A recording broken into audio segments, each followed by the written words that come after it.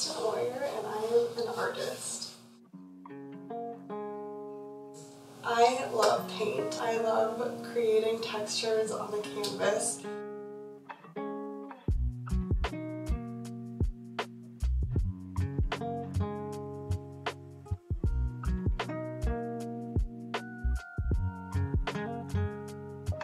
I paint because it's hugely effective with my mental health and with releasing tension that I have like built up.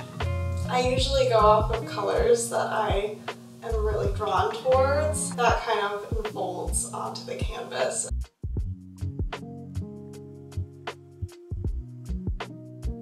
I went through about a year or a year and a half where I didn't make anything. I didn't paint or create. I thought I had to have all of the resources or the supplies or the time set aside in order to get going. Finally, after so long, I had all of this tension built up in me and the pandemic had just started and I was like, oh my gosh, like I have to release this. So I just picked up a pen and I was like, here we go.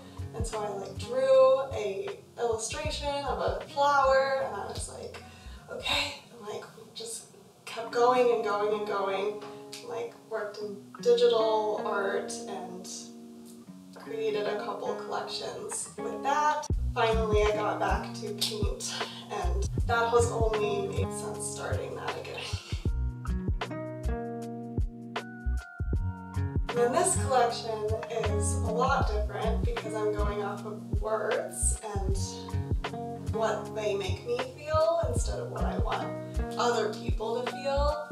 So that's been interesting of like, what am I drawn to in a certain poem um, that then leads me to put it out on the canvas.